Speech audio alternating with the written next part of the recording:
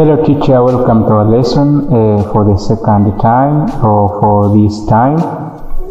We are in proceeding in salty analysis, our topic qualitative analysis and this is chemistry practical. Loading to examinations uh, practical. And today we proceed with the uh, analysis of copper 2 nitrate. Uh, you see this is copper, copper 2 nitrate. You see the appearance uh, we are going to use qualitative guide sheet this one uh, to know how to make analysis uh, step by step experiment one to another up to confirmatory test. We are going to deal with on experiment observations and the inference. The student will be able uh, to understand within this lesson uh, to know how to write a report at the end of this uh, this lesson appearance of our sample uh, we have this one. You see the appearance of of sample. I think you see which color you observe. Uh, that is the that is the blue uh, blue crystal. And this is copper nitrate. So how to deal with the qualitative guide sheet let's we we be here together to understand or to proceed our experiment. When you perform uh, analysis of salty uh, copper 2 nitrate, appearance appearance of of our solid sample, almost you have observed the appearance is is green. So is green. that is our our sample. That is our sample green, and then if it's green, is crystalline is green and then representing copper uh, and the crystalline form representing nitrate, sulfate and, uh, and the chlorine. So that is appearance. And then when you observe uh, copper 2 nitrate, it means you're going to absorb uh, water from atmosphere that is liquescent salty. So we have two appearance. We have color, text, and, and the liquescent property. So in this report, how to write, you have to join this sentence, and this we know you will see in our uh, report analysis how these columns or rows have been joined. So it's green crystalline form, green crystalline form, and absorb water from the atmosphere to form a solution. So we have to join this. This is the copper, and this is uh, this nitrate sulfate and chlorine, and this nitrate chlorine and the and the sulfate. So in this we have created nitrate chlorine uh, sulfate, and this nitrate sulfate and chlorine. You have to choose one. Nitrate chlorine and the sulfate of copper may be present. That is appearance of our solid sample. We have to give a name, uh, you can call it X, Y, Q, that is our sample. Another experiment, we have flame test. Flame test, you have to choose one, either glass, uh, glass rod or nichrome wire. First, you have to clean those uh, you are going to use. If it's nichrome wire or glass rod or back of the test tube, we have to dip in, uh, in concentrated sulfuric acid or hydrochloric acid and then you heat in an luminous flame before uh, putting the sample. And then after you have to dip uh, cleanly uh, I'm going to use available apparatus which is normal uh, the test tube. Uh, deep uh, clean test tube you dip in concentrated hydrochloric acid and then uh, you you pick the sample dissolved within uh, that that concentrated hydrochloric acid and then you heat. You follow these words you change in past uh, simple and then you test you see observation. Uh, when you perform observation according to this is copper. You see this observation. It means bluish green flame will be observed and that represents copper may be present. So you see, if it's colored, this is not white. it means green. We expectation, our expectation, it means we want to see any uh, um, ammonium, sodium, calcium, zinc, and the lead. We can't expect to get those among of these ones. So that is uh, copper nitrate. And then uh, after flame test, we, get, we go to another step, uh, action of heat.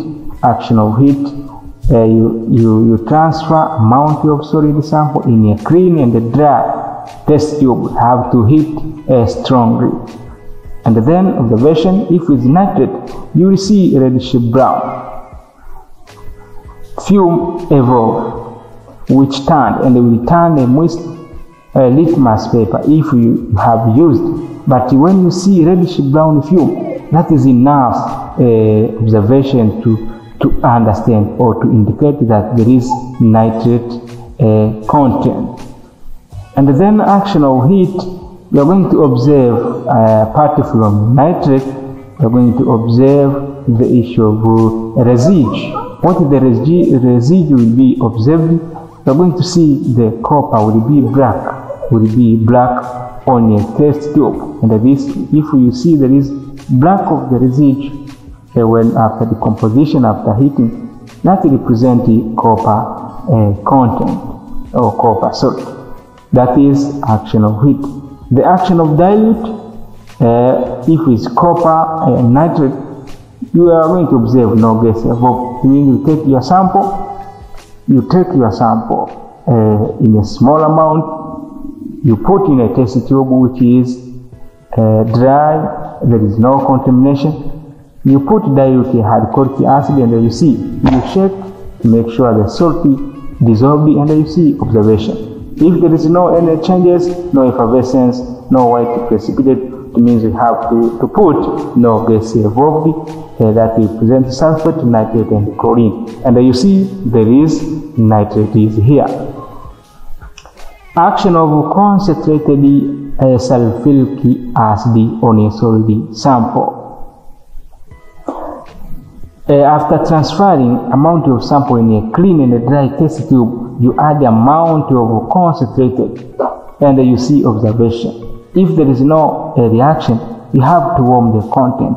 And then, uh, in case of copper nitrate, we expect to get brown film after after warming after warming that sample. We get the brown fume will be evolved and we turn moist blue litmus paper to red if you have used the litmus paper. But a brown fume, that is the smoke or gases evolve from the test tube to the atmosphere is enough to, to indicate that there is a nitrate content within our, our salt. And then solubility, we are going to see the solution of the, of the solute sample. If it's soluble or slightly soluble or insoluble totally, uh, we are going to use solubility uh, procedure. You have to take amount of solid sample into a test tube and you, you add enough water to see uh, if sample is dissolving or not. If sample does not dissolve, you can warm the content to see there is another uh, further changes, you write. But uh, nitrate, we have seen that is uh, copper to nitrate, that is copper which is blue. We are going to observe a soluble forming the blue, or we are going to form blue, green, uh, blue solution. That is blue solution. That is blue solution. Our sample is blue, not green. If there is another and a point I have said the blue uh, is I have said the green that is an error but this example is is blue I think you see. And then after that represent copper present. So in this one you have to choose to choose not the blue have correct soluble forming the blue uh, soluble forming the blue solution and not green. That represent copper ion may be present within our sample. Another action after solubility, we are going to perform another step uh, the second after preliminary testing, we go to directly to testing in solution. When we say testing solution, it means we have to prepare a stock solution first. We have to dissolve a sample in water uh, to make a stock solution, and then will be used for further. You, you take a small amount, you test another step, small amount, test another steps. So you transfer amount of solid sample in test tube, you add enough amount of distilled water, and you shake it thoroughly. If the sample is does not dissolve in cold water, you have to warm in uh, in a in a luminous flame or on a flame uh, to make sure you get hot water, and you see if there is the solution. If there is uh, another sample does not dissolve in that procedure, you have to take another sample to a new test tube and then you put, uh, you dissolve it in dilute nitric acid instead of water. And then you perform another, another procedure or another experiment. So testing solution, we have ammonia solution, we have sodium hydroxide first. Uh, on a stock solution you have prepared, you put uh, you put a smaller volume of sample original sample solution. You add the sodium hydroxide solution dropwise until in excess. When you say uh, until in excess means there is a, at least the large amount of sodium hydroxide solution. It means you put first small amount and then you fill drop by drop until in excess you see observation. Uh, because this is copper, we see we expect to get blue precipitate is formed insoluble in excess. It means there is a precipitate within our our test tube, which is blue. So another, uh, we have ammonia solution. Ammonia solution, testing ammonia solution, it means we get no precipitate will be formed white precipitate, no white gelatinous precipitate formed, that is zinc, and uh, our sample is is blue, pale blue precipitate, and then we form deep blue, deep blue solution within a test tube, and uh, not not no precipitate. This is an a mistake. So our sample is copper. We expect it to get that observation unless you are wrong in your procedure. After testing a preliminary testing and the testing solution, now we are going to confirmatory testing. The first, thing in order to confirm your sample or your salt, you have to look the reagent provided on your bench. After looking, you have to ask the question, why there is this reagent, and then you will see. You will test the sample. The second steps after observation of reagent in your bench, you have to look the most appeared in influence inside of cations or cation and the anion. In our cations there is copper. is appeared too too much. Copper, copper. We have seen there is copper and the nitrate, copper and the nitrate. So you are going to look on your bench presence of a reagent which tests copper. If there is a there is a reagent testing copper, let's say would be uh, we have reagent testing copper, there is ammonia solution. The first thing you observe this one, a blue precipitate is the same as in testing solution of ammonia. So copper confirmed. And if you see by using there is potassium ferrocyanide, you will get reddish brown uh, precipitate and that will present copper be confirmed. Another anion which appeared most is nitrate. Nitrate tested by using uh, ferrous sulfate instead of cation, ferrous sulfate, uh, concentrated sulfuric acid. Uh, you test by using this one. If there is in your bench, you see this observation the brown ring will be formed at the junction of your test tube that will present a nitrate or in fact nitrate. And if there is copper turnings uh, followed by concentrated, but if there is no copper turnings, but there is concentrated sulfuric acid. That procedure is not allowed to be performed because there is uh, in one one reagent. If there is both, we have to use, and then our expectation of the patient is brown film will be evolved, and that represent a nitrate confirmed. And then that is the end of our confirmatory because I think we'll see another reagent. There is no another reagent, but if there is another reagent uh, for for a target of uh, confusing the student because is examination, it means we are going to use, but we will see negative readers. If let's say there is uh, there is uh, silver nitrate for testing chlorine, but our sample is nitrate, uh, you are going to see how test of chlorine will be tested. Let's say there is chlorine, and when you put, you are going to get expect to get this one for chlorine. But if there is nitrate, you are going to write no white precipitate soluble in X. It means you are going to write negation of this sentence. No precipitate formed uh, soluble in excess ammonia solution from. It means no. No precipitate soluble in excess ammonia solution formed. That is how to negate and if there is no white precipitate means there is another another compound. And the chlorine not confirmed you have created if there is another reagent which you have been provided as a technique for your your answering the examinations.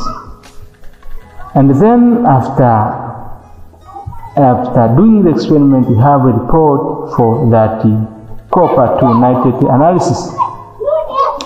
Uh, appearance of solid sample X, you have to rate this one, blue crystalline form uh, and absorb water from the atmosphere to form a solution. You see that is our, our uh, report. And the inference have to rate nitrate, sulfate, chlorine of copper may be present. On a flame test, you see how we have write the sentence in a simple past clean the back side of test tube. If you choose nichrome wire, you, you substitute the test tube. If you use glass rod, you substitute uh, nichrome, the test tube. You put what you want, but it's the same procedure follow. In this one, Concentrate yourself and sulfuric acid contains sample X, and then you heat on a non-luminous flame. Bluish green flame, copper may be present, and uh, always this is our report for action of heat. You see action of dilute acid, you see the observation, how write. You can stop and then you can write this report and uh, you, to understand more this lesson. Action of concentrated sulfuric acid on a solid sample. Our report is this one, a brown film evolved. I have said in a sheet there is the word evolves and the turns because I, I say that this sheet prepared in always the action. So you have to, to write on the spot. If it's evoked or if it's turned, you have created turned or you have created uh, evoked. What do you observe? Don't copy and, and paste from the words of the sheet automatically. Solubility version soluble from the blue solution, copper may be present, and the sodium solution, blue precipitate, this one, and the ammonia solution blue precipitate is this one uh, is this one and then confirmatory test uh, there is no any to write confirmatory test of copper but this confirmed we infer that this is confirmatory test I think that is for end of test or analysis report for our sample copper 2 nitrate and the conclusion we have played this one copper ions is cation and iron is nitrate and the chemical name you can be asked copper to nitrate chemical formula uh, you have see there above. I think that is our report. And if you test uh, copper to nitrate by using this guide sheet you have uh, this is our answer for our questions. If you have any questions our number uh, we are going to see the number is passing through this lesson, uh, make sure you you follow from the step to another, uh, from the first to the to the last point to see those number and uh, to to ask the questions if you have any question. I think you understand more. So we end up here. That was lesson number two for salty analysis. We meet to another number three and another another another salty sample. Thank you for learning through this uh, lesson. You have a nice day. You have a nice study.